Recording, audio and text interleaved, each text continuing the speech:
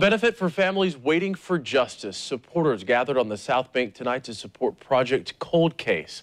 The organization continues its work to find answers in unsolved cases and often succeeds in doing just that.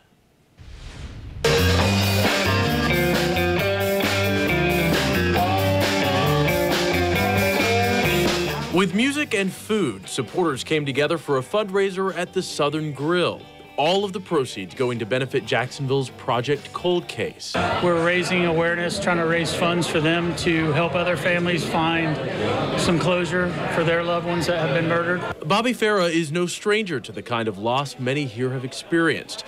His father was murdered at a Jacksonville convenience store in 1974, and with no leads, the case went cold.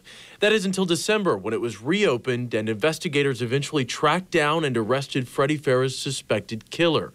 Project Cold Case played a major role in that arrest. I never gave up. I always knew that there's somebody out there that was responsible uh, for my father's murder, and I really wanted to find out who that person was.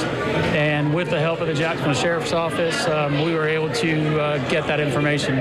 Sergeant Dan Jansen with JSO says the arrest proves even after more than four decades, a case can move forward. We took a look at the case, we reviewed it as a team, and we saw that there was some evidence that we could work with, and so we, we focused on that evidence and, and went forward with it from there. Farah hopes tonight's benefit will help bring the same kind of developments to other cases that have now gone cold. My dad was an awesome man. Yeah, it's a, it's, it's a, it's an awesome event. Johnnie Miller is expected to be extradited back to Jacksonville next week from Louisiana. He'll then move closer to trial for the murder of Freddie Farah.